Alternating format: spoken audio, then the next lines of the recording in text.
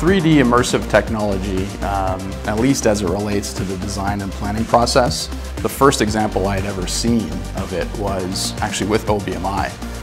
And he brings out these goggles, put the goggles on, and it literally transplanted you into his concept and said, I'd like to illustrate what I've just shown you on screen in 3D.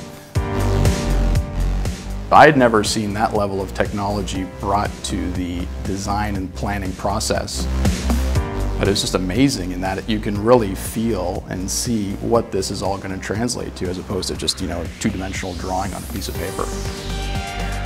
So, fantastic, and I'd never seen it.